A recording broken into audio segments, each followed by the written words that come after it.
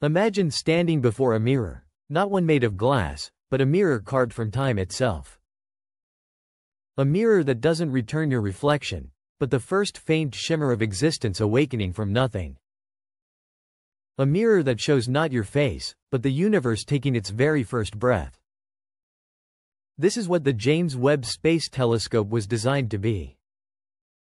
Not just an observatory, but a golden machine built to rewind reality, a tool forged by human hands to reach backward across more than 13 billion years. Every panel, every sensor, every drop of engineering was meant to reveal a young cosmos. A place of heat, dust, newborn stars, and swirling clouds of unformed matter. A universe still learning what it meant to exist. But when Webb opened its mirrors to the deep black, what it found wasn't the nursery of creation. It found something far older. Something complete. Something that, according to every theory ever written, had no right to exist when it did. Instead of blurred shapes and unfinished galaxies, Webb uncovered spirals, elegant, organized, ancient structures glowing like fingerprints pressed into the early universe. These were not cosmic infants. They were fully grown galaxies only a few hundred million years after the Big Bang. It was as if the universe had skipped childhood entirely and jumped straight into maturity in the blink of an eye. Suddenly, cosmology felt fragile. Equations felt uncertain.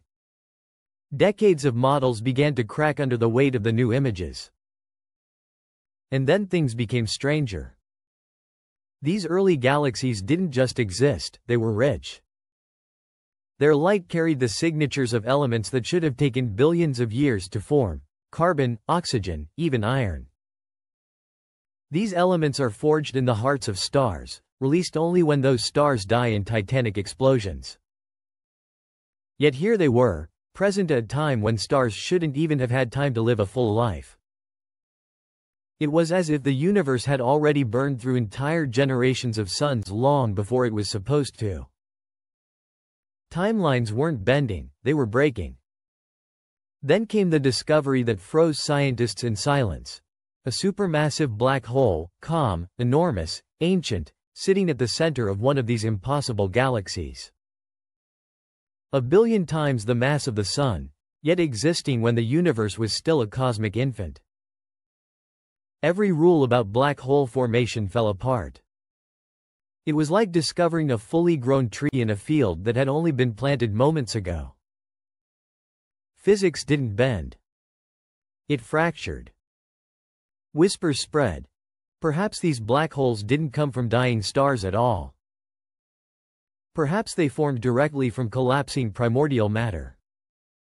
Perhaps dark matter played a role far more active, even intentional, than we ever imagined. Maybe time itself flowed differently in the beginning, stretching and twisting in ways our equations cannot yet describe. Webb wasn't just collecting data.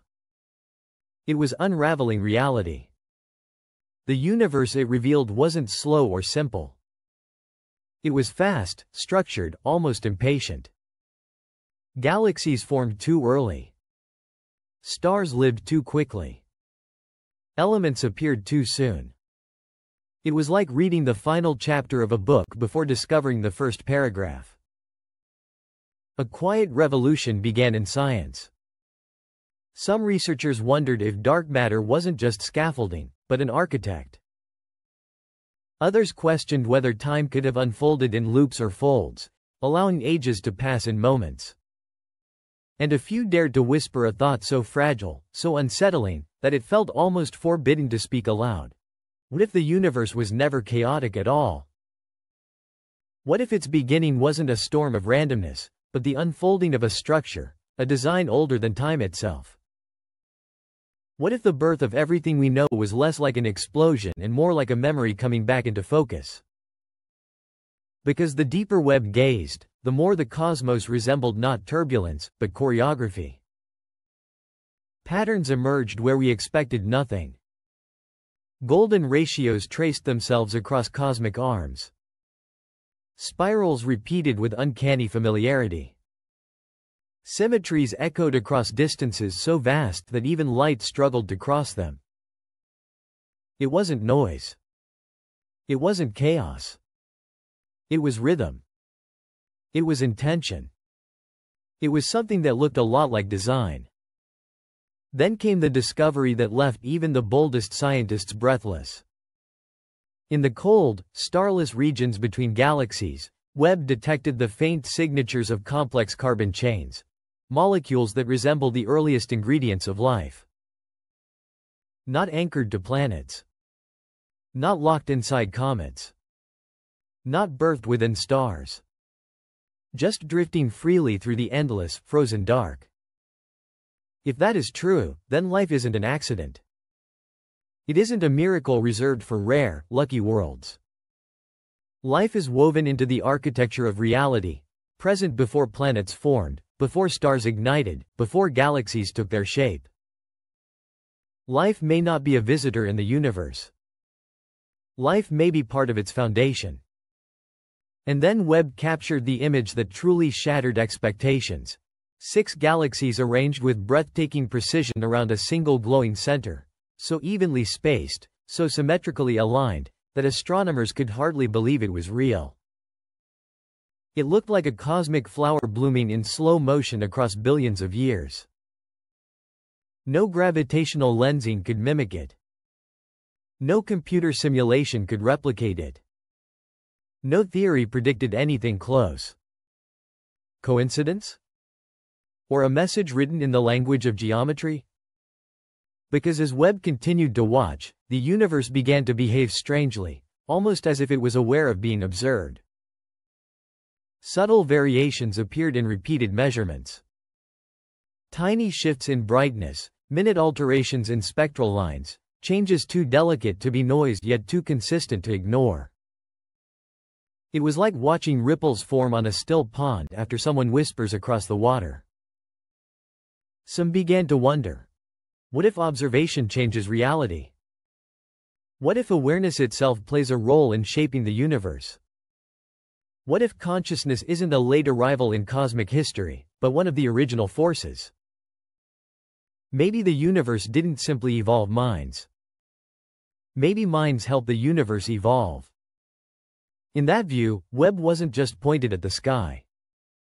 It was holding up a reflection.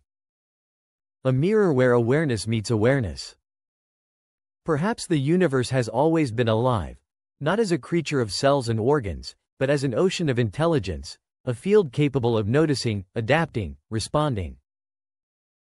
And through us, through our curiosity, through our questions, through the instruments we built, it can finally look at itself.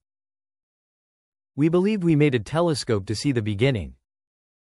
But in truth, we may have crafted a doorway, a window through which something ancient could finally be seen again. Now, when we stare into that delicate, ancient light, we are forced to ask a question far larger than ourselves. Did we discover the universe, or did the universe choose this moment to reveal itself to us? Maybe it has been waiting, waiting since the first spark of existence for someone, somewhere, sometime to look back with understanding. And now that we have, the silence of the cosmos feels different. Not empty. Not cold. But awake. And somewhere out there, beyond the edges of everything we know, something watches through the starlight, through the drifting dust, through the mirrored gold of Webb itself. Not just observing us, but acknowledging us. Through the light. Through the mirrors. Through the very fabric of reality. We reached out to understand the universe, the universe, at last, reached back.